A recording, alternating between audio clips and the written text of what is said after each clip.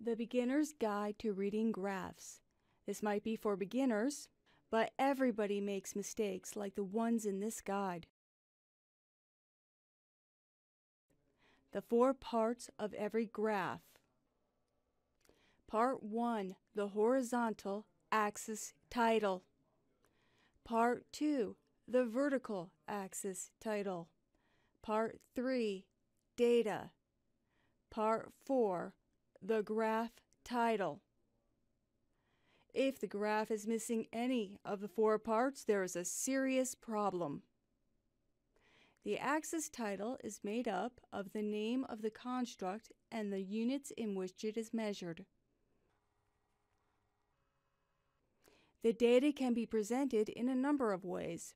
The graph title should contain a description of the relationship of the constructs on the axes as demonstrated by the data. Construct is an intimidating word. A construct can be defined as something constructed from the mind, such as an idea or a concept. It is intangible. You can't touch it, taste it, smell it, see it, or hear it. So, what is a construct? Happiness is a construct. Student, love, intelligence, perception, grief, friendship, thought, color, bias, time, boredom, loneliness. In science, we must define our constructs in a manner that would allow others to measure them the same way. We call this an operational definition. The axis title should contain the operational definition and its units of measurement. We should know who or what was measured to obtain the data. We should know basic information about the data, such as is it individual data points, averages, or correlations? Let's do an example. Let's say our construct is anxiety.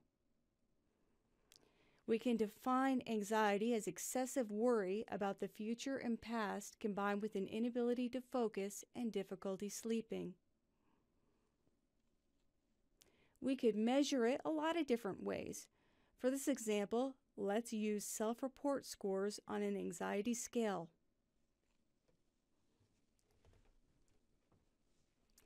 This is our operational definition. Trait anxiety scale with a range of 0, very low anxiety, to 60, very high anxiety.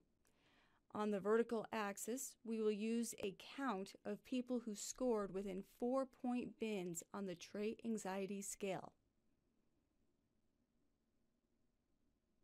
Each red line is a bin. 50 people scored around 15 points on the trait anxiety scale.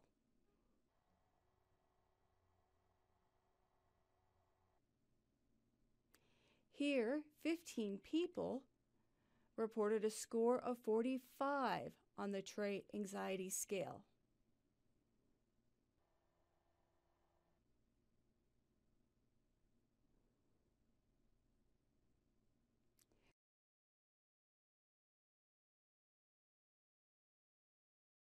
More participants reported low to moderate anxiety than high anxiety.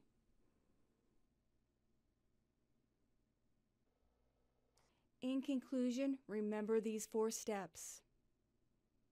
Step 1 Is there an axis title? Does it have a name construct? Is it presented along with the units of measurement? Step 2 is just like step 1, but for the vertical axis. Step 3 The data. How was it obtained? what was measured, what is being presented. Step 4 Is there a graph title? Does it use the data to explain the relationship between the axes?